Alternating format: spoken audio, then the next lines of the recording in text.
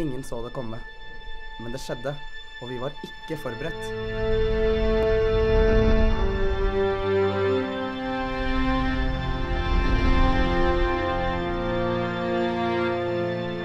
En solstorm har fjernet alt av elektrisitet. Ingen mobiler, ingen datamaskiner, ingen nyheter på TV eller radio. Ingenting.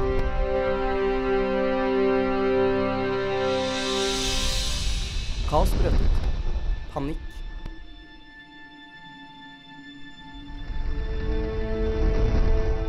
Tre måneder nå.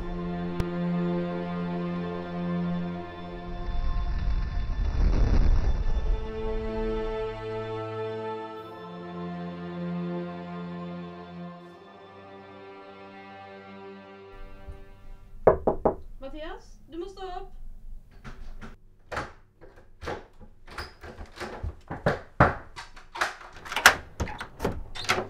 Hei, hvordan går det? Har du fått tak i vann? Et Ja. Har Mathias stått opp, eller? Jeg tror det. Jeg banket på døra hans i stad.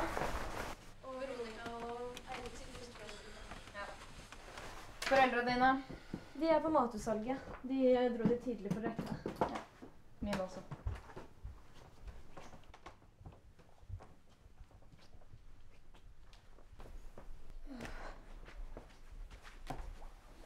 Hei sann! Har du noe mer å fyre med? Vi er snart tomme for ved, og jeg er ikke keen på å starte å fyre med klær. Jo jo, vi kan spille klesboker. Første plagg inn i pausen.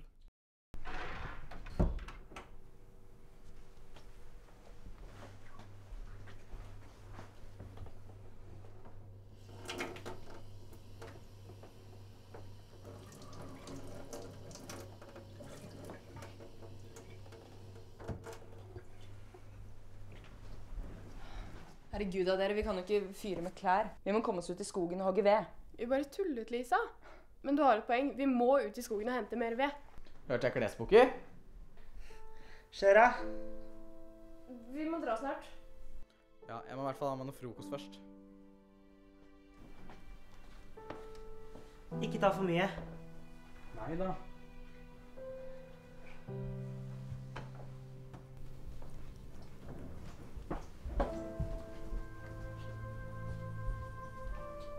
Vi venter ute.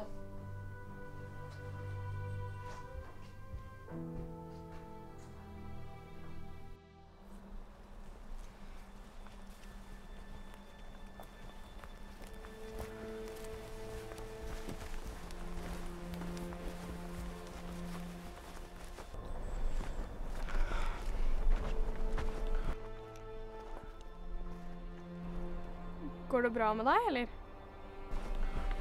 Ja, da er jeg bare sliten.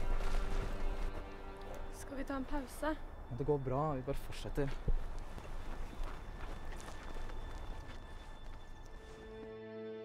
Det er ikke så langt igjen uansett. Veit du i det hele tatt hvor vi er? Jeg er i hvert fall helt lost uten GPS. Jeg kjenner meg igjen, OK?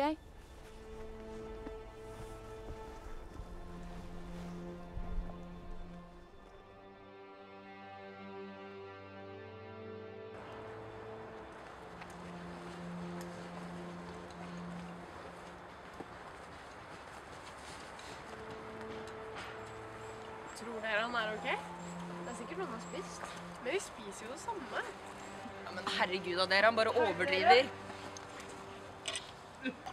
Litt hjelp. Mathias? Mathias? OK,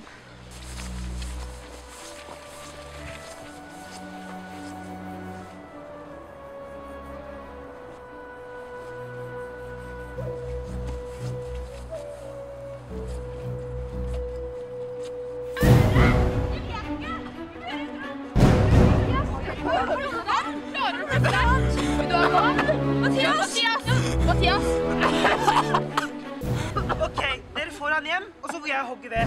Ok? Dere? Hva feiler han? Vi vet ikke. Vi tror det er noe han har fått i seg. Vi må få ham ned på hytta. Den rett her borte.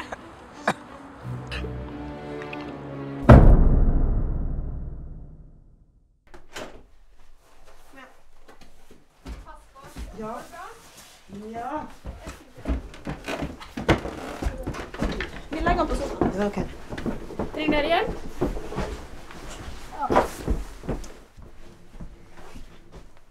Er det noe vi kan gjøre?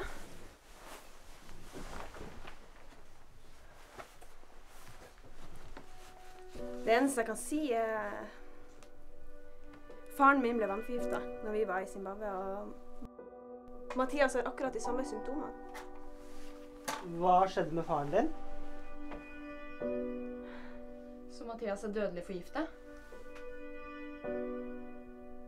Altså, hvis, hvis vi hadde hatt telefon eller hva som helst, så ville vi ringt ambulansen med en gang, og, men Skal vi bare sitte og se på at han dør?! Lisa!